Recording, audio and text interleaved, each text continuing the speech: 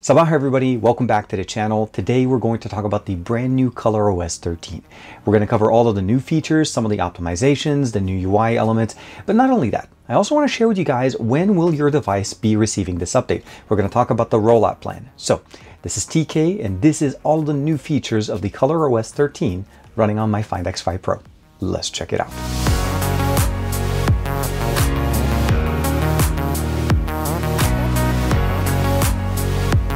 Like and subscribe and make sure you hit that bell icon so that you're always notified to whenever we have new videos on the channel. This is the Find X5 Pro. I've been using the ColorOS 13 on this for the last week and a half and overall it's been running pretty nicely. Um, it's actually pretty stable. We received three updates since we first got it installed and overall uh, the performance is pretty good. I didn't lose my data when I installed it. Obviously when you get into a beta, typically your data migrates pretty nicely. Although when you jump out of a beta, unless you're moving to a new version, that sometimes may cause a concern, but overall just be aware if you're thinking about getting this and applying to get into the beta program. Uh, the wallpaper is something that we're going to talk about. We're going to talk also about the fact that the new typography, the new uh, customizations, the app updates. Uh, we notice everything here is basically just running exactly the way we've seen it before, but uh, with a little bit of an aquamorphic feel into it. And that's partially into the animation. Uh, overall, app drawer is still in there. We have access to the shelf here, which we now get access to all of the different customizations that we get in there. A notification panel also got a little bit of a revamp. Still have the ability of using all the normal toggles, a prominent media player, as well as a little bit of a customization of switching users as well as active application that we can also customize or access directly from there. Uh, but overall, as far as what we see here with the typography, the icon pack is the new one, and that's going to be the default one, the aquamorphic icon pack. We can still jump into a more of a material view, download your own custom icon packs, but overall, I really like uh, the way the infographic information is coming, but also the animation behind it. So let's go ahead and swipe back. And what I mean by this is like when I'm swiping away, you'll notice that nice motion. Very nice, very smooth. Opening the Google feed does the exact same thing, bringing down the shelf very nicely. And we see all the, uh, this also kind of permeating throughout the actual settings tab. Now, of course, this is ColorOS 13. This is still technically a beta version, as you could see right there. The device name is Oppo Find X5 Pro, storage obviously from the 256. The 8 Gen 1 is going to be the processor here, 6.7 inches, 5000 milliampere, model number, all the different things. But I like the customization that we have here than from what we've seen before. We have the camera configuration as well, not only just the back, but the front facing camera. Android 13 is going to be powering this. And of course, if we click it and then just switch over, and since 13 is not something we can see on the, on the clock, you actually have to put it to one o'clock. Once you do that, gives us access to this and of course we can customize change and you just have to basically keep pressing the background. And there's so many different options that we can do here as far as easter eggs. It's definitely very very nice. And of course all built uh, with ColorOS optimizations of course. And of course go into the recents app. You notice everything just runs smoothly very very nice and you can see no stuttering no issues. And it's been running really nicely for the last week and a half for me. So overall Although this is technically a skin on top of Android, this also goes beyond just being a skin with a smart always on display. And we're talking about basically some new optimizations. You'll notice uh, a nice friendly face here with the Bitmoji that's been integrated. We also have some AI functionalities to be able to kind of give us access to, let's say, Spotify on the lock screen and so on, and we'll cover all of that. But at the end of the day, ColorOS 13 is an evolutionary upgrade, simple to use, easy to use, and of course intuitive at the end of the day. Let's start off by talking about the control center because I feel like this is a big part of what we do on a daily basis. So overall, we have a separate toggle for Wi-Fi and mobile data. Of course, we can expand it. We have access to the four, three additional rows that we can basically scroll through. We have access to a prominent media player that works very nicely. So let's go ahead and basically say we'll run Spotify because we're going to have that nice integration there. I'm going to start the music. I do have it muted, so that's one of the reasons why you don't hear it. Uh, but you can see here that it opens up. I can pause, I can play, I can skip track. It works pretty much the same way you'd expect and it's prominently sitting there. And of course, we can also talk about basically where does the audio go up from there. So a customization level that we haven't seen before. One of the other things that I like about it is the ability of checking in on active applications. So we can see that Spotify is running in the background.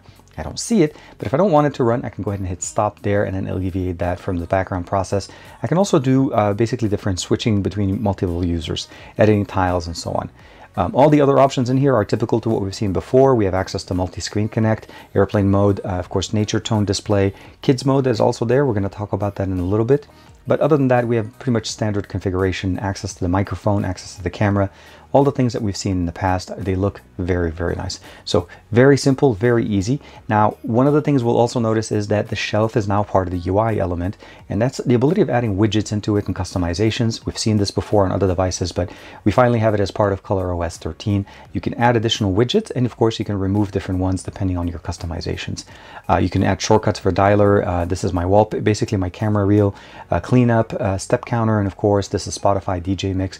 And time zone, if you like to always know what time it is in different countries, you can open it up there. And speaking of that, we can also jump in here and look at the actual customizations of what we see here. So as far as the clock itself, it has nice new, uh, basically uh, almost like a reflective effect. And of course, a new typography that's built in there. Now, again, notification panel still there. The shelf is part, uh, part of the system there. And of course, app switching is going to be very nice. So we're able to basically just say go into Google Play Store. We're still able to use uh, the basically the functionality of jumping, make it into a pop-up window, and of course, uh, dock it or even open it. So I can put it to the left, open it up, or I can just close it if I don't need it. A lot of good things there, simple, easy to use. We're going to switch over now to the always on display. We're actually talk about some of the new things that they brought in with customizations when it comes to that. So we're going to swipe down. We're going to go into the settings tab, swipe down, go into wallpapers and styles, same section. We have the same options that we've had from ColorOS 12, always on display, themes, icons, font, color customizations as far as quick settings, uh, fingerprint animation, as well as edge lighting. Now, the one thing we see here is wallpaper. We're going to jump back at that for a second. We're going to talk first about always on display. The always on display gains some AI functionality. And what I mean by this is contextual information is now a function that we can add so that we can in interact with, let's say, something like Spotify, or even the ability of basically hiding context from, let's say, somebody looking over your shoulder. Now, that functionality is not working, but the Spotify functionality is, and it is definitely very nice. And you can see here, you can jump in and it'll give you the list of the supported apps. Although Spotify is one of them, we'll definitely be able to access it from there. Other than that, we can jump into more display settings, customize that information there. And then of course, now we can see that we have Bitmoji front and center that's been added into the system. So Bitmoji always on display, very nice. You can customize your avatar, uh, log into Bitmoji if you're using it through Snap, log in there, customize it. And then once you customize it, you'll start getting some of these really nice uh, animations depending on what you're doing. So now obviously I'm just chilling, but let's say I'm charging my device and let's say I'm just using my device and, and enjoying music. And so you'll notice right out of the box, it knows I'm listening to music and it knows automatically. Now we'll go ahead and lock the screen. Let me just go ahead and uh, lock it, go to always on display. And we're gonna interact with the, uh, here. So this is the Spotify widget. It's built into the always on display. I can skip tracks, I can go back, pause music, start music, and of course, I have some shortcuts for other uh, media. And of course I can just let it go back and it'll go back home and go back into the normal setting. And as you can see there, it's I'm playing a piano now because that's what we do. Now, although Bitmoji is something that we haven't seen before, we have access still to Canvas, obviously custom patterns. You can customize your pattern to make it, text, and of course, emoji. Now, the emoji one we've seen before, you can click it, you can customize your own emoji, or of course, use your own. I've been working on mine a little bit, and you can customize it to basically become your centered experience. So in right now, I'm using it. You see, we're using the Bitmoji. I can jump on and use Omoji and of course just say apply. Same experience, shut it off and let the always on display kick in. And now we're running the Omoji. The Spotify playlist here still works and it works the exact same way we had it before. So those are a couple other things. We have a canvas that I've created before and of course the custom patterns that I've done in the past. Some of the other options that they added in here is uh, here. We have the Insight uh, always on display as well as the Homeland always on display. The Homeland one is a little bit more of a reactive uh, kind of wallpaper, or at least an always on display. And what I mean by that essentially is that it'll customize the experience based on what's going on. So you'll see it right there. It runs very nicely. You can customize this one. Uh, you can also jump in. We'll go back down here and we have an additional one. We can go with the penguin. We can also go with obviously the uh, coral with the clownfish in there. Definitely very nice. And the last one, of course, is the Insight wallpaper. And this gives us the ability of seeing exactly how much screen on time we've had throughout the day. Now, one of the main benefits here, of course, is it's more of a visual effect and it runs right on your lock screen. So you know exactly how many times you've unlocked your device. And as time goes on, it kind of goes from the top to the bottom as I'm showing you guys with that quick animation that we have. Very nice, very simple, and of course added in there. And it looks really nice. Now, the last thing we're going to talk about here is, of course, is the Blossom wallpaper. Now, the Blossom wallpaper kind of works like uh, the Insight wall, uh, always on display, with the exception that this actually runs on the lock screen and on the home screen, and it gives us the ability of having a visual effect of a set time limit. What I mean by this is you can customize it to be, let's say you you want to do basically about four hours a day of screen on time, or being four hours on this device. If you set it to be at four hours, what will happen essentially is that at the beginning of the day, the blossom will actually start as a small plant and grow over time. When you reach the four hours, it'll blossom into a full plant.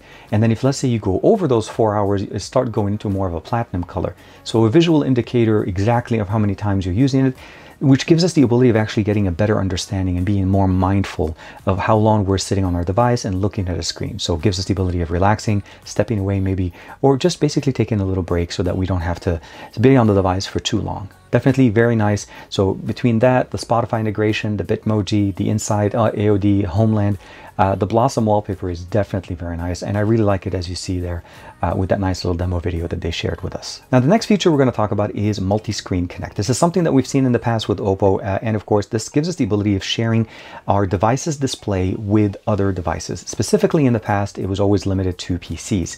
Now, one thing I will say that the Oppo Pad Air, the brand new tablet that Oppo released, will also feature multi-screen connect, and that will work with ColorOS 13 on this device.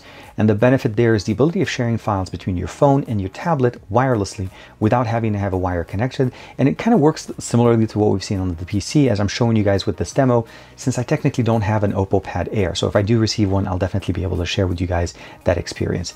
Uh, transferring files, uh, controlling the device, running multiple applications, pop-up windows, all of those things run the exact same way. And I love the fact that it's now integrated with tablets as well as PCs, making it an essential tool for multitasking and of course productivity across tablets and PCs alike. So we've talked about the multi-screen connect and definitely very nice. We have that built in there. One thing I do want to talk about now right now is something called auto pixelate. Now this is something that is really, really cool. And what I mean by this is it helps us actually privatize information in a shared text. Now, when you're looking at the screenshot, typically what we have is the ability of basically going pixelate. Now this gives me the ability of customizing things in my myself, or we can go into more edits and then jump into mosaic here and then give it the ability to do auto pixelate. Now you'll notice auto pixelate automatically pixelated my name, the contact picture here on the, on the far left, as well as some additional information which probably didn't need to.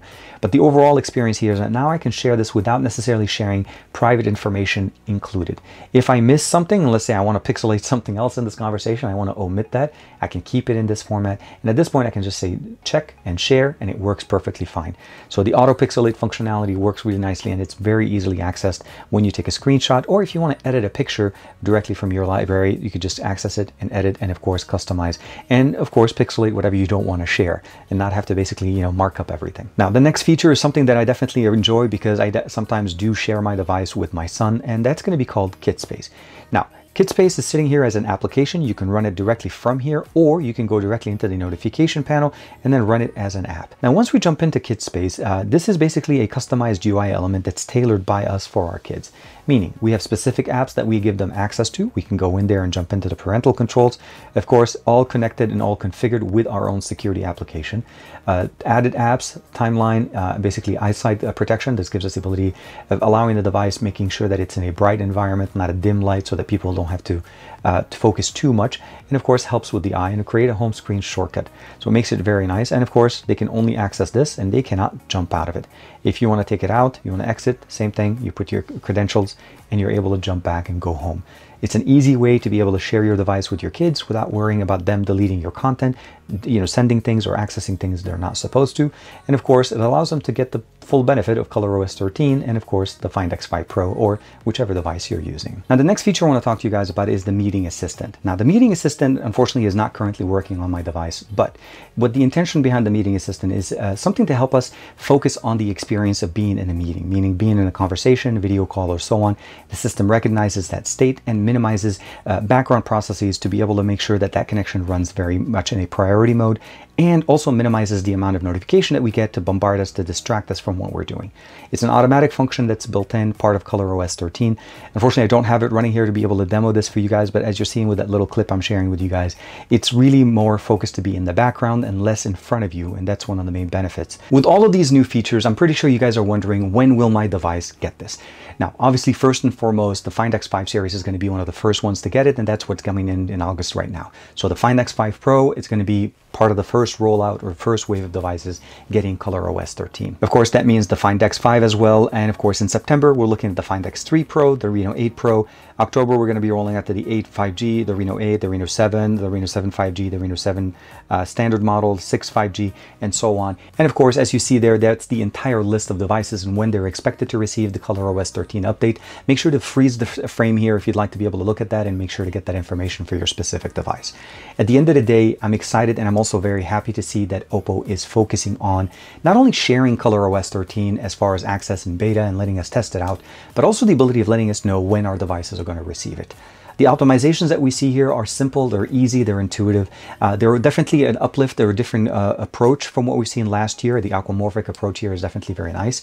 You're still able to customize your system, you're still able to change your icon pack, customize the icons, uh, customize the colors of the UI elements, do a whole bunch of things that we've done in the past. It just has another layer of uh, basically animation that makes it just look very smooth and very silky. Now, this obviously is running on the Find X5 Pro. I definitely want to see how this runs on other devices, so I'll be waiting to see when those updates get pushed out and hopefully be able to provide you guys with a little bit of an update on that. Um, as I'm always excited to see how does ColorOS, uh, as far as an operating system, runs on the high-end devices, but also runs on the you know the mid-range and entry levels, because those are the things that we always you know want to make sure that we're getting a smooth experience. And of course, uh, ColorOS 13 has been doing it very nicely since ColorOS 11, 12. I've been very surprised with what Oppo has been able to do and I cannot wait to see what they do next. So I do want to say thank you very much to Oppo for sponsoring this video and of course thank you for checking out this video. Let me know in the comments below what do you guys think of ColorOS 13? What is that unique feature from what I've shown you guys today that you would love to see that on your device and have you seen your device list and let me know of course when will you be receiving your update. For me I'm excited to see here obviously on the Find X5 Pro, the Find X3 Pro is going to be coming up next month, the Reno 8 is going to be coming up as well, the Reno 8 Pro. So there's a lot of nice things obviously the brand new device first, but it's that other extended list that I'm excited to see. So like and subscribe as usual. Thank you very much for the support. I'll see you in the next video.